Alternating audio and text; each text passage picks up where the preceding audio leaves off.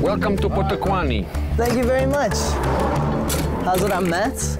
Errol? Errol and? Paddy. Paddy, how's it, Paddy? All right, well, I'm here with Errol and Paddy. We're at the Pilanesberg Nature Reserve, and we're gonna be learning a bunch of different things, including how to set up a camp, how to survive in the bush, and hopefully we'll get to see some wild game. So why don't we go do it? Paddy, lead the way. Follow me.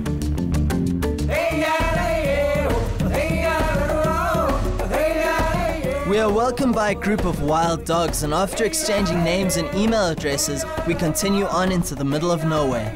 This is it, the very heart of the bush, where nature rules supreme and the land belongs to the animals. A couple of other creatures notice our arrival. I wonder if they're thinking, how's this guy gonna survive out here? I am deep in the heart of the South African bushveld on location at the Pilanesberg Nature Reserve. Now what I'm here to do is find out a little bit about survival. Now I've been thrown in the deep end a little bit, but I think I've got just the solution for my survival problem here. I have two solutions in fact. Errol and Chief Paddy. Okay, Errol, so what are the basic tips for survival in the bush? I think, uh, the key thing really is water. So the number one thing to do first is to find water. But more importantly, make sure whenever you go out that you actually have water with you, if possible. Okay, now we were talking a little bit about kit. Uh, Errol, you've got some binoculars. What other kit would you need for survival in the bush? Sure. Let me just assist, you on that one. Okay. What do we need? Water bottle, right? That was the number one, water. Got that? Always remember that. Okay. A hat. Hat. Great. A proper hat to cover your head completely. Okay. Otherwise, caps and that you tend to burn on the face and your Okay. nose and all that. So you wear.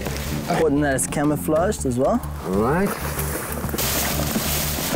And just as importantly, Wee. a good fixed blade knife. Okay. This will allow you to chop wood, Yeah. cut whatever you need to do, dig out holes, dig out termites for food, Okay. scorpions and things like that. That's critical Okay. for your survival. Okay. I still have a lot to learn, but we're going to be doing that a little bit later. At least now I'm ready for the bush. By the way, you've got a tick on your pants. Don't worry about that.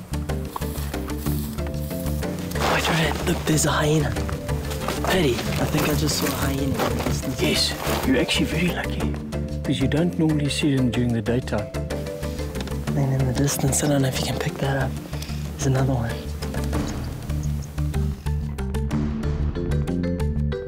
There's nothing like being a million miles away from civilization to make you appreciate what nature and this awesome country have to offer.